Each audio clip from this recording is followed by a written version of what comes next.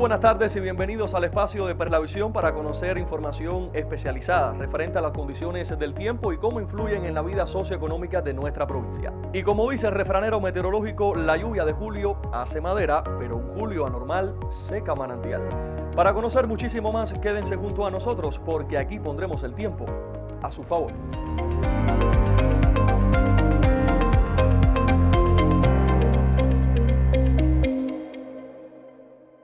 El mes de julio, según la climatología de nuestro país, se caracteriza por tener madrugadas ligeramente cálidas y este no ha sido la excepción. Las temperaturas mínimas han presentado anomalías positivas, o sea, que han estado por encima de la media en la última semana y así se comportó en todas las regiones de la provincia. De forma general, estas oscilaron entre los 22 a 25 grados Celsius hacia las zonas llanas y entre 19 a 22 grados Celsius hacia la montaña. Los valores máximos diarios predominaron entre los 31, 34 en el llano y entre 26 a 29 en el lomerío. Por su parte, la humedad relativa continúa en parámetros normales y como media diaria predominó por encima del 60% en todo el periodo analizado. Ello influye en la nubosidad, que también experimenta poca variabilidad y mostró los mayores aumentos en las tardes por la formación de tormentas hacia el interior y sur. Con ello se mantiene elevada la insolación y las horas de luz, típicos de la época del año. El viento continúa con un régimen del este al sudeste en el período matutino, y es que las altas presiones oceánicas con centro en el Atlántico cercano prosiguen dominando el tiempo sobre Cuba y mares adyacentes.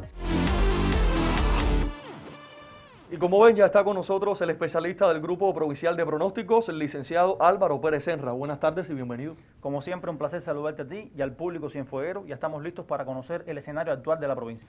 Precisamente en estos momentos las capas superficiales del suelo se mantienen húmedas y las temperaturas bastante altas. ¿Podemos decir que esto es beneficioso para los cultivos de estación? En efecto, estas condiciones continúan beneficiando el desarrollo de la mayoría de los cultivos, incluso los pastos y forrajes, pero siguen siendo favorables para la alta incidencia de plagas. Este es el escenario entonces que vamos a detallar de inmediato.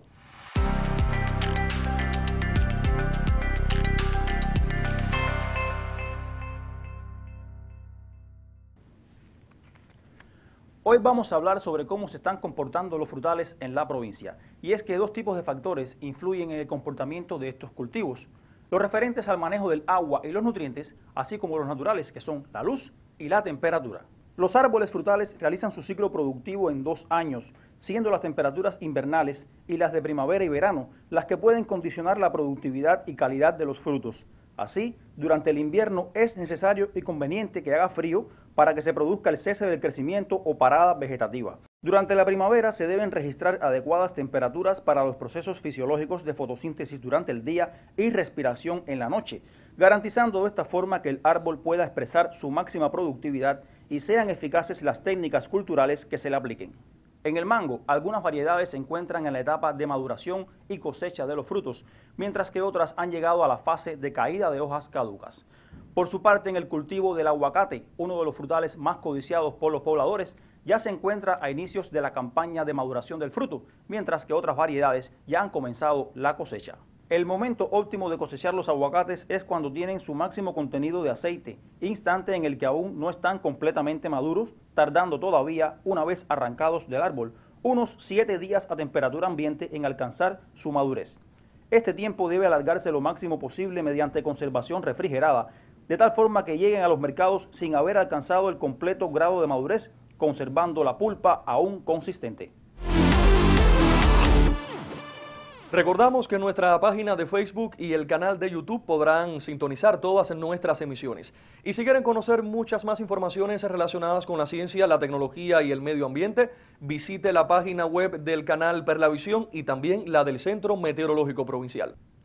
Ya algunos televidentes nos han hecho llegar sus saludos y sugerencias y hoy queremos agradecer especialmente el contacto de Leandro Jiménez del municipio de Rodas, Damarik Senra aquí en Cienfuegos y a Mariela Pérez Morales, que sigue nuestro programa desde Angola. Continuamos poniendo el tiempo a su favor mediante la sección Confort contra Estrés.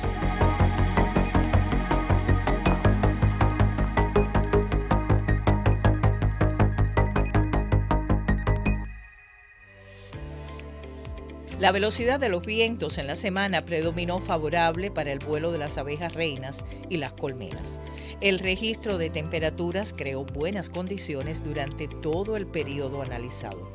Por su parte, los colombófilos han podido realizar sus vuelos previstos sin contratiempos, pues los vientos de componente este favorecen el recorrido de las palomas de manera óptima, sobre todo si son enviadas desde provincias como Santi Espíritus y Ciego de Ávila.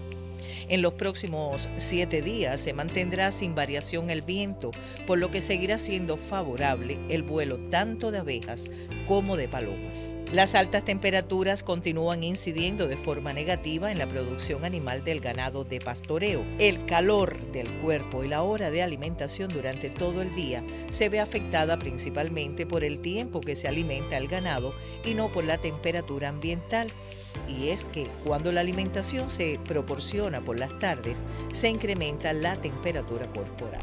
Durante los días venideros se van a mantener las altas temperaturas. Por ello recomendamos, además de brindar sombra y agua fresca a los animales, alimentarlos en horario matutino, antes de que llegue el mayor calentamiento para evitar estrés digestivo. Regresamos con el licenciado Álvaro Pérez Enra para presentarles la sección dedicada a nuestros agricultores y pescadores. Asimismo es, las condiciones de humedad en las capas más superficiales del suelo continuarán incidiendo positivamente en la disponibilidad de pastos y el desarrollo de los cultivos de estación. También la luna comenzará a influir positivamente en renglones en la tierra y en el mar. Vamos entonces a conocer más del cultivo y la pesca.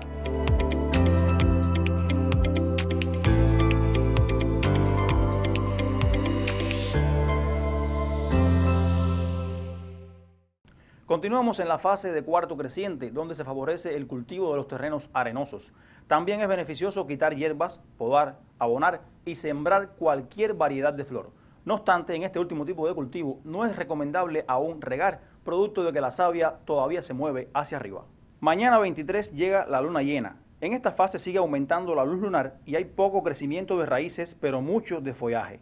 Las plantas cuentan con una mayor cantidad de movimiento interno de agua y savia, por ello, continúa siendo favorable la cosecha de hortalizas de hojas como perejil, col y espinaca, y siempre debemos tratar de que sea temprano en la mañana para aprovechar la frescura y humedad de las hojas. Además, recordarles que en esta época deben estar semi protegidas para evitar daños por la fuerte radiación solar y el calor. A los hombres de mar les comento que en los próximos siete días apenas habrá variación en el tiempo. Por ello se mantendrá la mar rizada en la costa norte de la bahía, desde Punta Las Trompadas hasta Punta Belices, con olas cercanas a los 20-50 centímetros de altura, mar fuerza 2, debiendo tomar precaución las embarcaciones de hasta 7 metros de eslora. Por su parte, en la zona litoral, desde Cabagán y hasta Mangles Altos, se mantendrá el poco oleaje en las tardes, con olas cercanas al metro de altura y debiendo tomar precauciones las embarcaciones de hasta 10 metros de eslora. En cuanto a la influencia de la luna para la pesca, se dice que esta fase corresponde a periodos de captura regular o floja, toda vez que al ser superior la cantidad de luz, los peces pueden vernos más fácilmente y detectar los engaños. No obstante, también es cierto que salen a buscar más comida y eso puede ayudar en la capacidad de captura. De manera general, podemos tener perfectas condiciones los primeros días del plazo y de muy buenas a buenas el resto, ayudado además por la temperatura superficial del mar.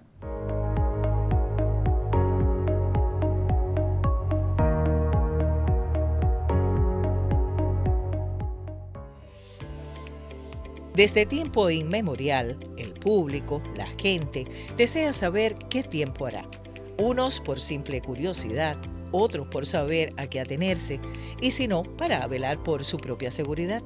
En algunos países esta necesidad de saber el tiempo que hará se torna en muchas ocasiones casi obsesionante y a todas horas aparecen noticias breves en la radio y en la televisión.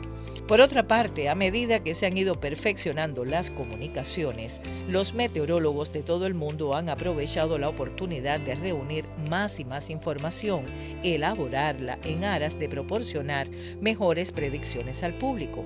En este aspecto ha sido decisiva la coordinación de un servicio internacional de comunicaciones realizado por la Organización Meteorológica Mundial, de modo que los datos de cada país se transmiten varias veces al al mundo entero. En nuestro país, el Sistema Meteorológico Nacional pone a disposición del pueblo disímiles formas de acceder a la información del tiempo, ya sea a través de las emisoras de radio, los canales de alcance nacional y territorial, los teléfonos meteorológicos, así como las nuevas tecnologías de la información, estando en la delantera los nuevos canales de Telegram y las cuentas oficiales de Twitter, Facebook e Instagram.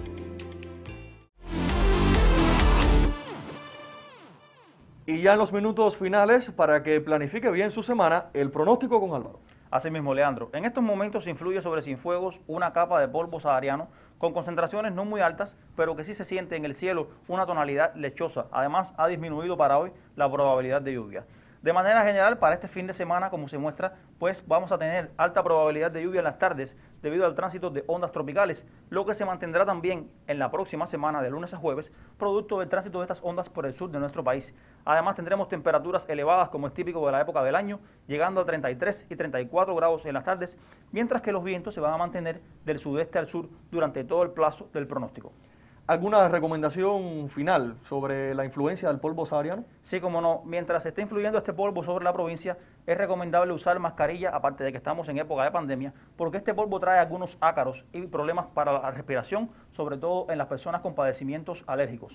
Álvaro, muchas gracias por la información que nos brindas cada semana y usted regresa la próxima, justo el jueves a las 12 y 30 del mediodía. Aquí les estaremos esperando para poner el tiempo a su favor.